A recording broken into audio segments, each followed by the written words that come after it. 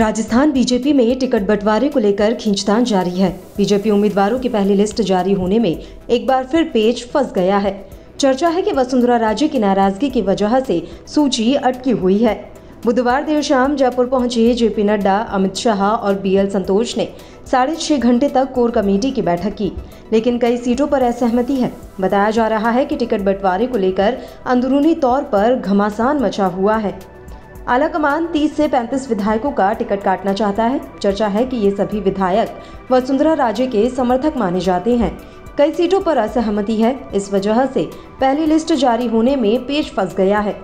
संघ की हरी झंडी मिलने के बाद ही पहली लिस्ट जारी होगी। बता दें, बीजेपी मध्य प्रदेश और छत्तीसगढ़ में लिस्ट जारी कर चुकी है, लेकिन राजस्थान में अभी तक एक भी लिस्ट जारी नहीं हुई है।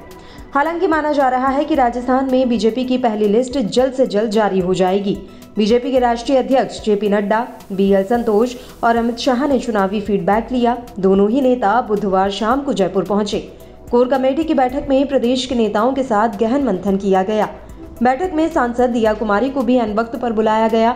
ऐसे में माना जा रहा है कि दिया कुमारी विधानसभा चुनाव लड़ सकती हैं। बताया जा रहा है कि बीजेपी की पहली लिस्ट कभी भी जारी हो सकती है। देर रात तक बीजेपी नेताओं के साथ बैठक में सहमति बनने की बात कही जा रही है। चर्चा ये भी है कि जेपी नड्डा और शाह ने कई मुद्दों को लेकर नाराज़गी भी जताई। जिस तरह से परिवर्तन यात्राओं में कई जगह भीड़ नहीं जुट पाई, नेताओं की आपसी गुटबाजी के चलते कई जगह परिवर्तन यात्रा को स्थानीय नेताओं का विरोध भी झेलना पड़ा।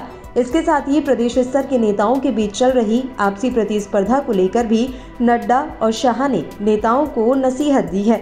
वहीं आज बीजेपी कार्यालय में बैठक के बाद नड्डा और शाह जयपुर में ही हैं। यहाँ दोनों संघ के नेताओं के साथ आगामी चुनावों में संघ की भूमिका पर भी विचार विमर्श कर रहे हैं।